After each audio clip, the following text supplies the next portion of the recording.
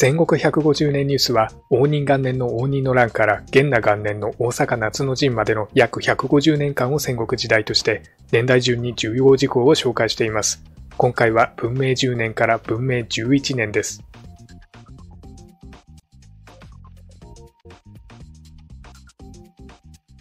こんにちは。戦国150年ニュースをお伝えします。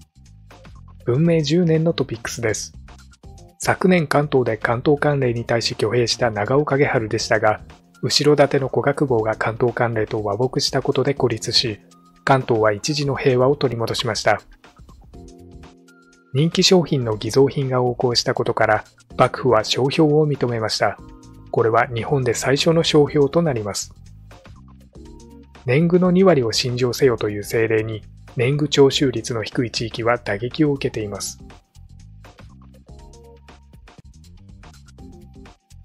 武蔵八形城で関東関連に反旗を翻した長尾景春を支援するため、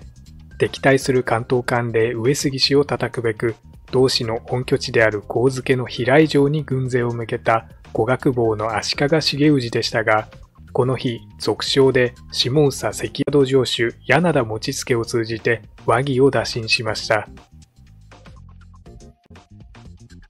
扇ヶ谷上杉氏の火災、太田道館の活躍によって影春の勢いが衰え、関東間で山内上杉明貞及び扇ヶ谷津上杉貞政の提案を受け入れる形で和睦しました。和睦が成立したことによって後ろ盾をなくした長岡景春は孤立。7月には八形城も陥落し、しばしの平和が関東にもたらされました。柳屋という酒屋の樽には六葉の門が使われていましたが、通常の2倍で売れる人気商品だったため偽造品が横行しました。六葉門の商標に対する独占使用権の公認は担当奉行の布施秀元と飯尾貞康の連署で発令されました。これは日本で最初の商標とされます。柳屋の当主は喜びましたが、後に万所執事の伊勢貞宗に礼物を送っていることから、利権絡みや課税を考えての優遇措置でもあったという疑いが持たれています。山城の荘園を支配する本所に対して発令された5分の1税、つまり年貢の2割を幕府に信条せよという政令は、もともと年貢徴収率の低い地域だけに自社本所に大きな打撃を与えています。これより融資を受ける側の金利に跳ね返ってくることが懸念されています。これに対し、苦行広橋金明などは、公家社会への影響をもんぱかって滅亡のもとと嘆いています。文明11年のトピックスです。関東で活躍する太田道館は上総、下総の大半を平定しています。不倫問題により赤松氏の家臣が殺害されました。事態は収まらず、幕府が裁定を下すことになりました。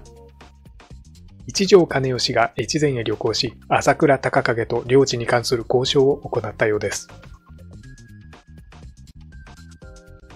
関東での活躍が目覚ましい太田道館は、前年末に長尾景春と結んで上杉市に反抗した千葉城の千葉則種を下総の境根原で撃破し、薄井城に退却させました。1月18日から薄井城の包囲が続き、7月15日、一旦兵を引こうとしていた太田軍に対し、籠城する則種勢が打って出て攻撃を加えました。同館の甥である助忠が討ち死にするほどの激戦の末、ついに城が陥落しました。前後して上総の有圧武田氏、長男武田氏をも攻略し、上総と下総の大半が太田道館によって平定されています。赤松正則の家臣と京都の酒屋小原何菓子の妻とが不倫関係となり、これに怒った小原何がしが幹部を殺害したとみられる事件が起きました。社会通念上、本府が幹部を殺害するメガタキ討ちが慣習となっています。しかし法律上は殺人罪であるため、事態は収束の様子を見せないまま混乱が続いていました。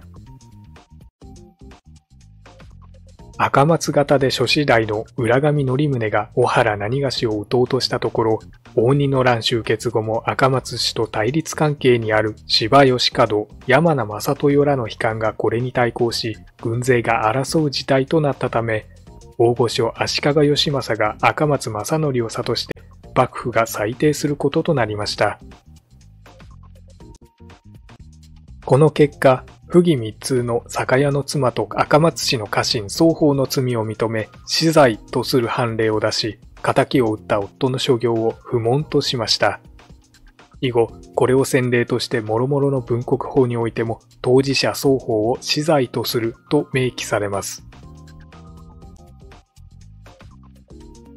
500年来の祭人と称えられた古典学者で前関白の苦行一条兼義が78歳にして自ら越前に下校しました。戦乱の影響から経済的に困窮していたため、伊勢や美濃に旅行しては大名に驚愕を授け献金を受けていました。